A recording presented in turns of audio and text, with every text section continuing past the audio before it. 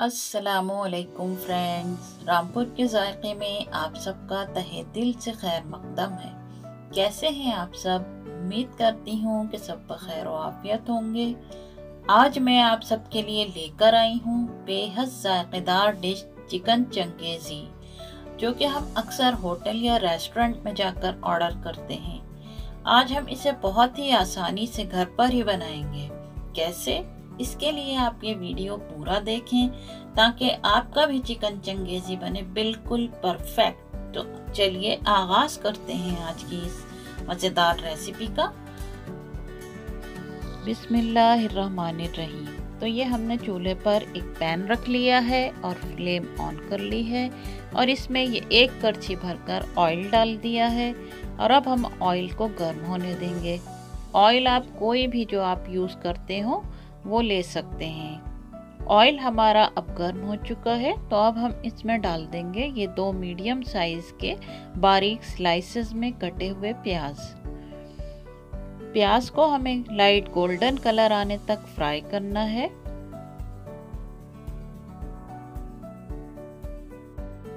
प्याज अब हमारी ट्रांसपेरेंट हो गई है तो अब हम इसमें शामिल करेंगे ये 15 से 20 काजू और वन टेबल स्पून तरबूज की मींग। तरबूज की मींग ऑप्शनल है, अगर आपके पास नहीं है तो आप इसे स्किप कर दें। ये सिर्फ़ काजू से ही बहुत टेस्टी बन जाता है।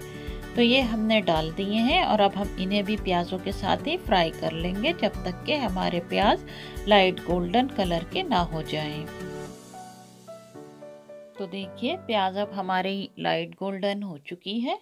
हमें ऐसा ही इसका कलर चाहिए था तो अब हम फ्लेम को ऑफ़ कर देंगे और प्याज काजू वगैरह को एक प्लेट में निकाल लेंगे और थोड़ा ठंडा होने के लिए छोड़ देंगे। अब हमारे पास है ये 700 ग्राम चिकन जिसे हमने धोकर रख लिया था और अब हम इसे मैरिनेट करेंगे।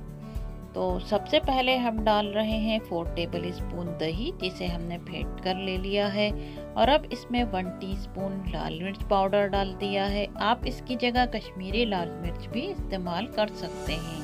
और अब वन टीस्पून नमक डाल दिया है और वन टीस्पून लहसुन का पेस्ट और वन टीस्पून अदरक का पेस्ट डालेंगे। और हाफ़ टी स्पून पिसा हुआ गर्म मसाला डालेंगे। और one pinch red orange food colour डाल देंगे। और फिर अब हम इन सबको अच्छी तरह मिक्स करके आधे घंटे के लिए मैरिनेट होने के लिए रख देंगे।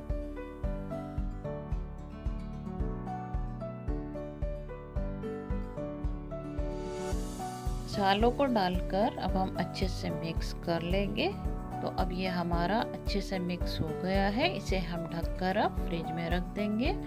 अगर मौसम ठंडा है तो आप इसे बिना फ्रिज के भी रख सकते हैं, लेकिन अब चूँकि गर्मी का मौसम आ चुका है तो आप इसे फ्रिज में ही रखें, क्योंकि बिना फ्रिज के इसके ख़राब होने के चांसेस हो सकते हैं। अब इधर हमारे प्याज और काजू भी ठंडे हो चुके हैं। इसे हमने मिक्सी के जार में डाल दिया है और अब हम इसमें डालेंगे हाफ़ कप दूध और इसका एक स्मूथ सा पेस्ट तैयार कर लेंगे। तो ये पेस्ट हमारा बनकर रेडी हो चुका है। इसको अब हम किसी बर्तन में निकाल कर रख लेंगे। अब ये हमारा वही प्याज़ों वाला बचा हुआ तेल है। इसमें हम तकरीबन दो टेबल स्पून ऑयल और शामिल करेंगे और इसको गर्म होने देंगे। तेल अब हमारा गर्म हो चुका है।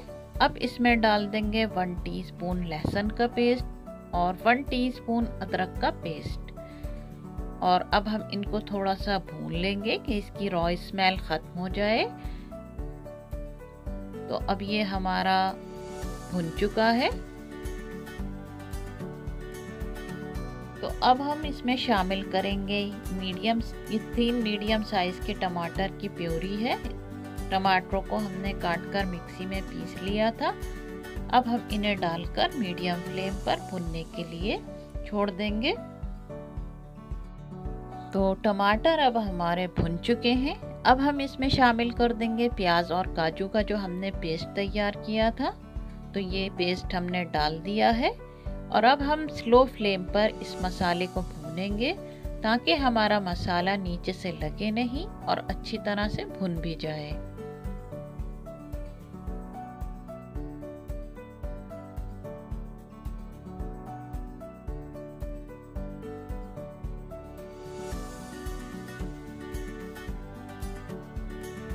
मसाले को भुनते हुए हमारे तकरीबन चार से पाँच मिनट हो चुके हैं। तो अब हम इसमें शामिल कर देंगे वन टीस्पून लाल मिर्च पाउडर या फिर आप कश्मीरी लाल मिर्च भी इस्तेमाल कर सकते हैं। उससे कलर भी बहुत अच्छा आता है और अगर आप वो नहीं है आपके पास या वो डालना नहीं चाहते हैं तो आप इसमें वन पिंच फ़ूड कलर भी यूज़ कर सकते हैं।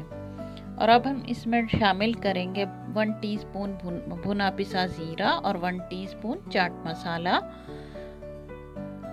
One teaspoon नमक और वन फोर्थ टीस्पून काला नमक।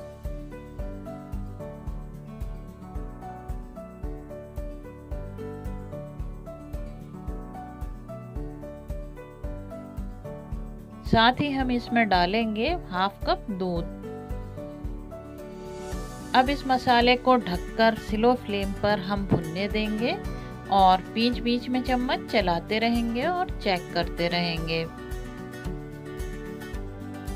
अब इधर दूसरे चूल्हे पर फ्लेम ऑन करके हमने एक पैन रख लिया है। इसमें हमने डाला है वन टेबल स्पून बटर और one tablespoon refined oil अब हम इसमें अपना मैरिनेटेड चिकन डाल देंगे। अब इस चिकन को हमें इसका पानी खुश्क होने तक और गलने तक ढककर मीडियम स्लो फ्लेम पर कुक करना है।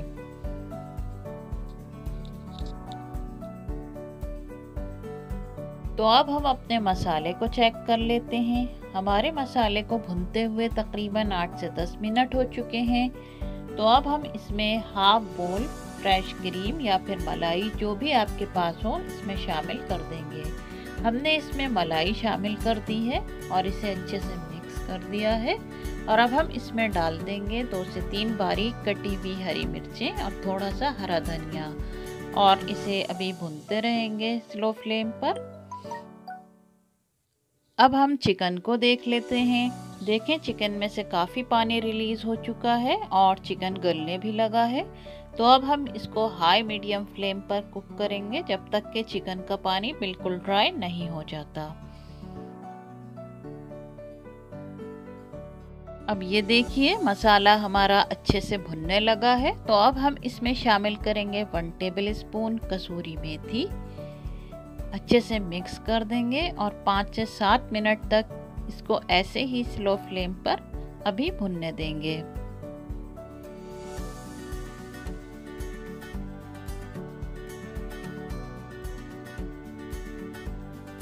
अब देखें चिकन का पानी अब बिल्कुल ड्राई हो चुका है तो अब हम फ्लेम ऑफ़ कर देंगे और अब हम चिकन को मसाले में शामिल कर देंगे।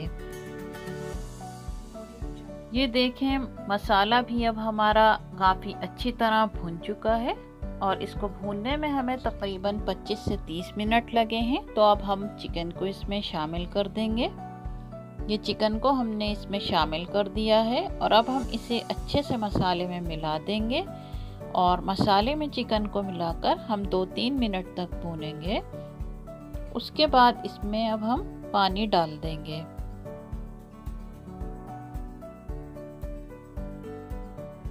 तो अब हमने इसमें ये एक कप पानी शामिल कर आप इसकी कंसिस्टेंसी अपने हिसाब से रख सकते हैं। जितना भी गाढ़ा या पतला आपको पसंद है, उस हिसाब से आप पानी शामिल कर सकते हैं। अब हम इसे अच्छे से मिक्स कर देंगे।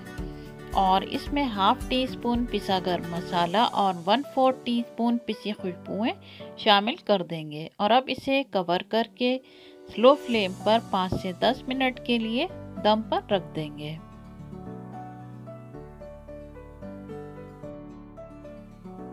तो अब ये देखिए, चिकन हमारा बनकर तैयार हो गया है ऑयल सरफेस पर आ गया है और चिकन भी अच्छी तरह कुक हो चुका है। तो अब हम इसको डिश आउट कर लेंगे और फ्लेम को ऑफ़ कर देंगे। ये देखें, हमने चिकन चंगेजी को डिश आउट कर लिया है। इसको हमने ऊपर से थोड़ी सी मलाई से गार्निश कर लिया है। आप फ्रेश क्रीम से भी गार्निश कर सकते हैं। देखने से ही आपको लग रहा होगा कि ये कितना यमी बना है। तो आप भी एक बार इसे अपने घर में बनाकर ज़रूर ट्राई करें। इन ये आपको इतना पसंद आएगा कि आप बार बार बनाएँगे। मुझे अपना फीडबैक ज़रूर दें। वीडियो पसंद आई हो तो लाइक ज़रूर करें और अपनी फैमिली और फ्रेंड्स में भी शेयर करें। और अगर आपने अभी तक चैनल को सब्सक्राइब नहीं किया तो प्लीज़ सब्सक्राइब ज़रूर करें। मैं फिर एक नई रेसिपी के साथ जल्द ही आपकी खिदमत में हाजिर होंगी। अपनी दुआओं में याद रखिए। तब तक के लिए अल्लाह हाफिज़।